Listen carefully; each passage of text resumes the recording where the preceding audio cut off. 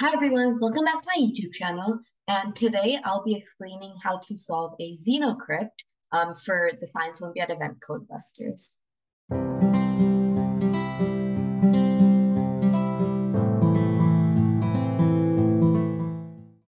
So just to start off, I would definitely recommend that um, a knowledge of Spanish at at least level two would be helpful, as that is around when I was able to start comfortably solving Xenocrypts um, because that just allows me to know like what words exist and what is the most um, possible letter frequencies. So this is an example um, of a xenocrypt I got from a test. So I'll just go through it, explain my thought pro process so you guys can understand the best ways to get started on a xenocrypt. So looking at it, um, the first thing that I like to do is figure out where um, the A is, because generally with words like la um, the word right after la would also end with an A because they're both feminine.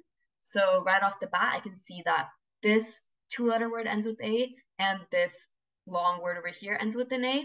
So I would guess that both um, that this is la and then this would end um, in an A, meaning that they're both feminine.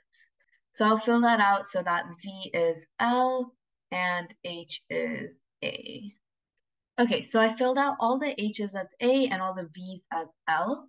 So the next thing that I would generally look for is where E is. So two things about E is that E is always a really high frequency letter, and there are a large amount of um, two letter words in Spanish that start with E, like S, N, L. Um, so if there are any two, if there are multiple two letter words that start with the same letter, I would guess that that is E. So I can already see that there are two, um, there are multiple two letter words and majority of them start with A. So I would assume that this A is E, which would also make sense because these two words would become L and then we can figure out what this is. Okay, so after figuring out all the E's, I can notice a couple of things. So first of all, this first two letter word here, because it starts with E, there are a couple of possibilities. It could um, only be either S or N. And because there's a comma here, meaning that this is um, an incomplete clause, it would probably start with N. So it's like N la something something, this happens. So I'm gonna guess that U is N. And another thing is that this three letter word here that ends with E, um, I'm the most common three letter word in Spanish that ends with E is que, like Q U E. And we can double check this by checking if there are any other Qs. And we can set W as a frequency of two. And the other Q is right here, also followed by, um, again, the same letter S, meaning U. So then, which um, does check out that W would be Q.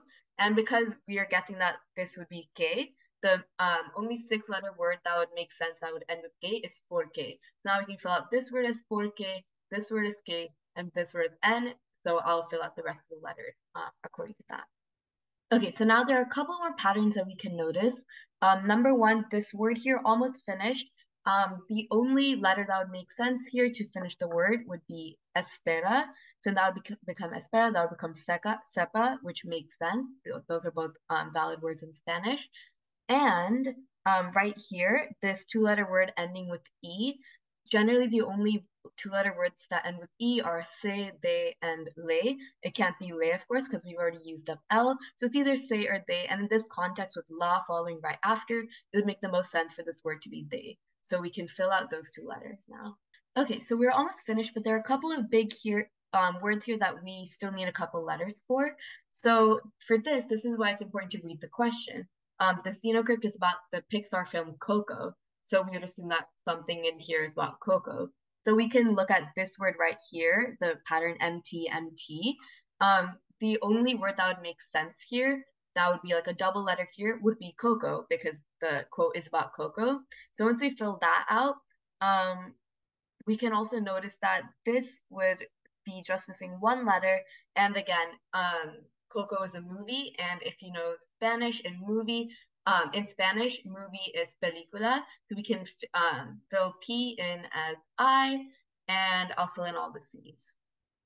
Okay, now following along the um, same track about looking at this in the movie perspective, we can see that in the movie Coco, which is what this phrase means, the blank, we can assume that because we're talking about um, movies, it would make more most sense for this word to be protagonista, which is like a cognate, it just means protagonist.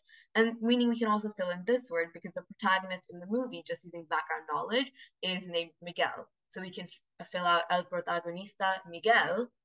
Okay, now we just have a couple more words left, just missing one or two letters.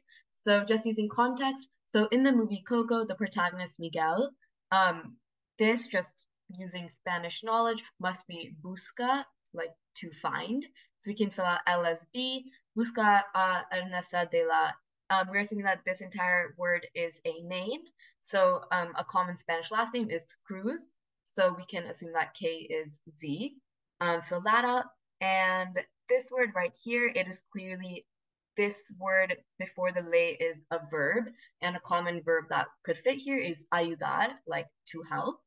Um, and this one right here, something to the house. So you would return to a house, meaning volver a la casa. So I'll fill that all out and we can look at the full quote. Okay, so I filled out everything. The full quote is, en la película Coco, el protagonista Miguel busca a Ernesto de la Cruz porque espera que él sepa ayudarle a volver a casa. Um, just the English translation of this would be, in the movie Coco, the protagonist Miguel um, finds Ernesto de la Cruz because he um, hopes that he knows um, how to help him return to his house.